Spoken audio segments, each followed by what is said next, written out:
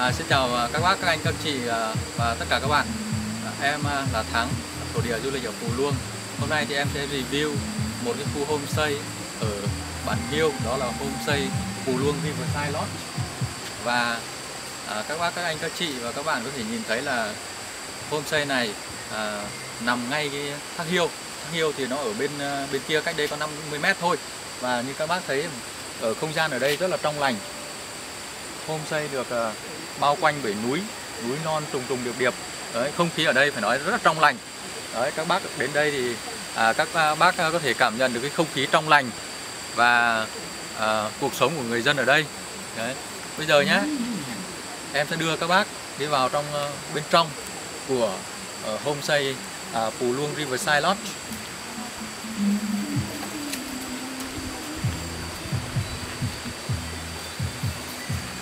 Thực ra cái từ lost này nó giống như một cái lều thì đúng hơn. Và cái từ lost này xuất phát từ à, một bộ tộc ở bên Nam Mỹ ấy, người ta sống trong à, những cái túp lều. Đấy, à, những túp lều này ở những người da đỏ ở Nam Mỹ. Và từ đó thì cái tên này nó bắt đầu phổ biến bên Ấn Độ. Và ở Việt Nam mình thì uh, có một số nơi người ta uh, sử dụng cái tên là Lost này.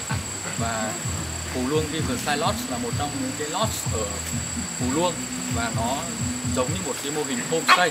Và nó khác biệt là cái gì? À, lodge này nó được kết hợp giữa homestay các dịch vụ à, phục vụ lưu trú khách du lịch và à, ở bên trong này thì có một cái farm cái farm cái farm nhỏ. Và bên ngoài nữa cũng có một cái farm lớn. Bên ngoài có farm lớn bao gồm các cái cánh đồng uh, rau rồi uh, ngô rồi lúa để phục vụ cho khách du lịch ở đây và kết hợp những cái yếu tố đó lại thì người ta gọi cái mô hình này này là lodge. Và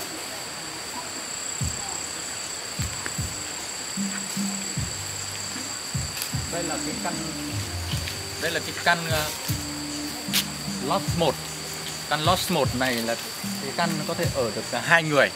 Có thể ở được hai người bên trong này. Đấy mình sẽ đi quanh quanh ở đây. Sau đó mình sẽ vào uh, mình sẽ vào trong một phòng vườn này.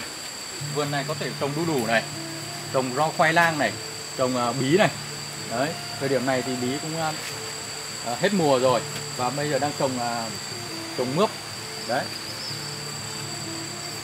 Ở đây trồng thì chủ yếu phục vụ gia đình và phục vụ uh, khách du lịch. Có cả ngô nữa. Đấy không gian rất là song xanh rất là nhiều cây. Đấy đây là cây gỗ lát này. Cây gỗ lát này được trồng cách đây à, 5 năm rồi.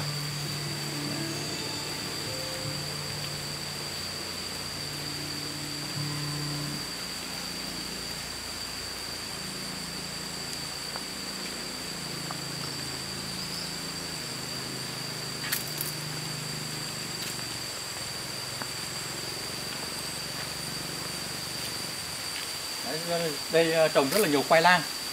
Đấy khoai lang ờ, phục vụ khách du lịch được. Đấy ngoài kia là xả trồng ờ, các loại cây xả đây là căn phòng số 2 phòng số 2 này ở được 3 người. Kia là phòng số 3 ở được 4 người. Ở phòng số 4 ở đây. Phòng số 4 ở đây. Đấy. ở được khoảng tầm 5 người. Và bây giờ mình sẽ đi vào cái phòng phòng to đây mình luôn uh, Riverside Lodge là ờ, có ba căn nhà sàn. Một căn nhà sàn lớn bên kia. Thì ở được khoảng tầm ờ, uh, 30 người. Hai căn nhà sàn bên này ở khoảng tầm uh, 40 người nữa. Đây cũng là hai căn bungalow. Cái này.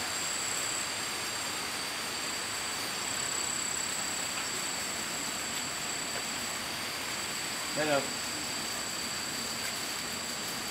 đây em chỉ cho các bác thôi đây là cái khu vực à, nhà hàng. Khu vực nhà hàng nhé.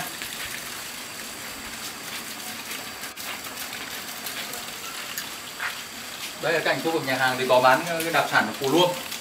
Như các bác ờ, có thể nhìn thấy đây đây này. Đây là hạt à, mắc khén. Rất nổi tiếng ở Phú Luông này. Đấy. Đây là hành. Hành của người à, đồng bào ờ, dân tộc ở đây trồng. Đấy, trông nó nhỏ nhỏ thế này. Còn đây là hạt rổi các bác này. Đây hạt rổi Đấy. bán rất là nhiều đặc sản đây. Gạo, củ luôn ở đây. Gạo, rồi các loại củ quả được bán ở đây.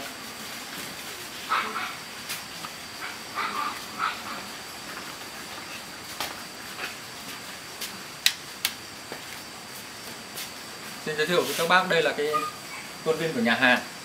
Đấy khuôn viên nhà hàng này thì có thể uh, có thể là đón được khoảng tầm uh, hơn 100 khách. Rất là đông. Nhìn thế này thôi nhưng rất là đông. Thời điểm này thì dịch uh, rất là ít khách cho nên là thấy rất là vắng. Đấy, em à, sẽ đưa tất cả các bác cùng tất cả các bạn lên một lên một cái căn phòng để nhìn xem bên trong nó có cái gì.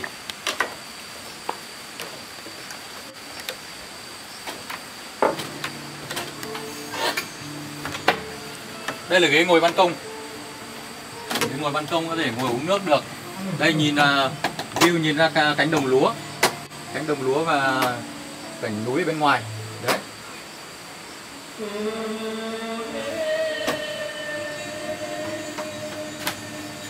Rồi các bác vào, vào trong căn phòng này xem.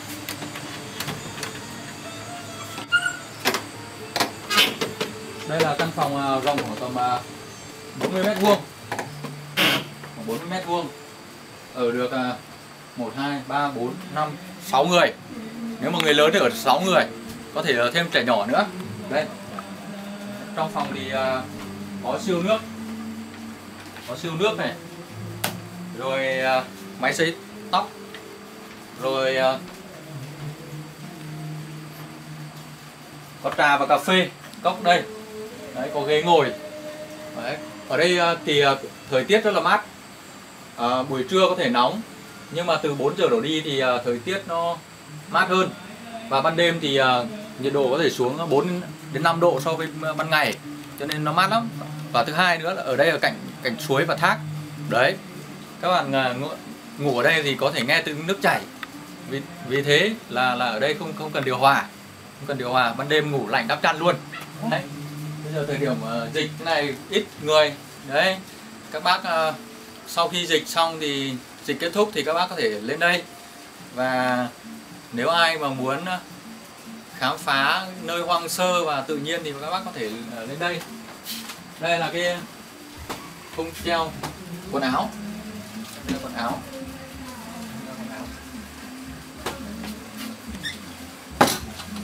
Bên ngoài này là phòng nhà vệ sinh.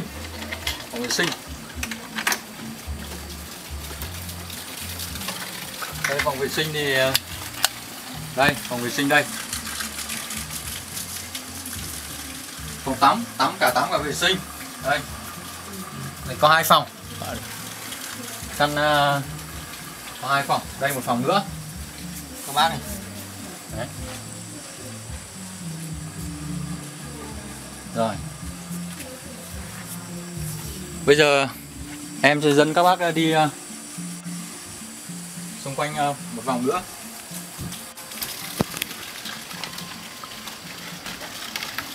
Nếu mà các bạn sinh viên ờ, những bạn nào mà đi phượt thì ờ, nên ở một cái căn nó rộng hơn như kiểu nhà sàn tập thể.